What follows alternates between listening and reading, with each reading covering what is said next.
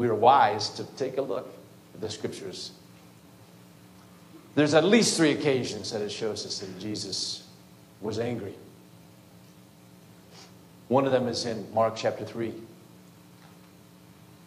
This is Jesus and the Pharisees. It's where Jesus, there was a, a, man with a withered hand.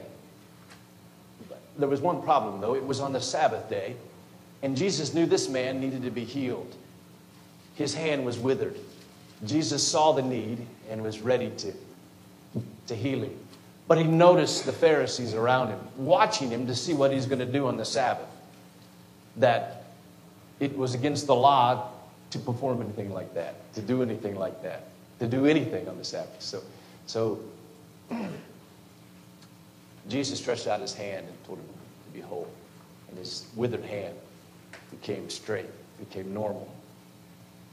But it re- is recorded there that when Jesus looked around, he looked at them with anger, being grieved by their hardness of heart. Being grieved to anger by their hardness of heart. Jesus was angry at their sin. Jesus was also angry another time with his disciples. There was a time in Mark 10 verse 13 through 16, where some people were bringing their children to Jesus. You might recall that. And as they were bringing the children, the disciples says, "No, no, no, no. He doesn't have time for y'all. Just, just go away. Doesn't have time for that." So it, it's recorded that Jesus became greatly displeased with his disciples. Why was he displeased? Because they were trying to keep them, the children, from coming to him. What Jesus says, let the children come to me and don't forbid, forbid them, for such is the kingdom of God. Jesus then used them as an example. Unless you become like one of these, you're not going to enter into the kingdom of God. He used them as a sermon. That's how important they were to him. And then, probably the, the most well known example of Jesus' anger was Jesus with the temple merchants in John chapter 2, verse 13 through 16. I'll read it. He found in the temple those who sold oxen and sheep and doves and the money changers doing business. And when he had made a whip of cords, he drew them all out of the temple with the sheep and the oxen, and poured out the changers money and he overturned the tables. He said to those who sold doves, Take these things away. Do not make my father's house a house of merchandise. There's more to the story than maybe we realize. But you see, the priest had made a sweet deal with these merchants. Here's the deal as that when the people come to us to bring their animals, there's only one place they can worship, right? There's only one way they can worship. They have to worship with sacrifices. So all these thousands of people are bringing their sacrifices. The priest says, when they come and bring the sacrifices, we'll reject it. This is no good. This is blemished. But we'll tell them we know where there's some unblemished ones right over there. So they'll come to your table and buy the quote, authorized sacrifice. So naturally, the priest would got some some money for that, for doing that. Some payment was done for that. So this is kind of like an ecclesiastical extortion. Here the people, think about it, they're coming to worship. And here there's re- religious leaders are ripping them off, taking advantage of them. Jesus got angry. But there's even more. More that the reason why he got angry is because where did they have this money changing going on, this selling of, of animals? It was in the outer court, which was known as the court of the Gentiles.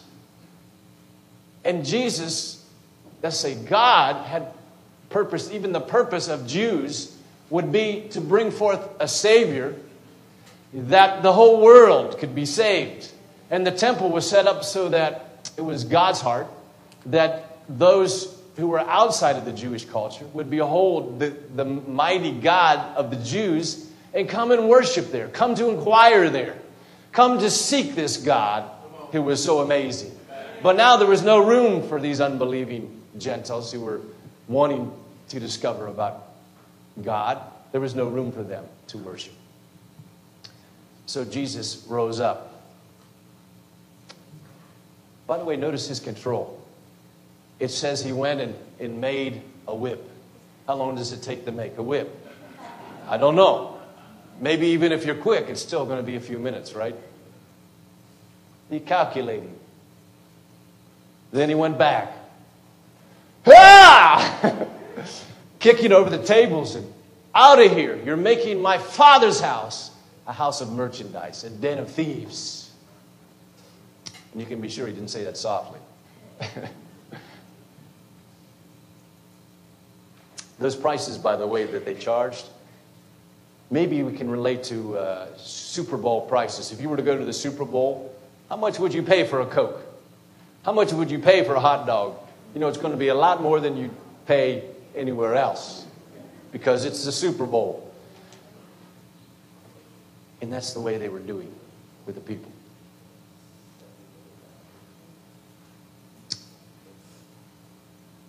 What makes Jesus' anger different from yours or mine? What sanctified his anger? Why is ours oftentimes sinful and his is righteous indignation?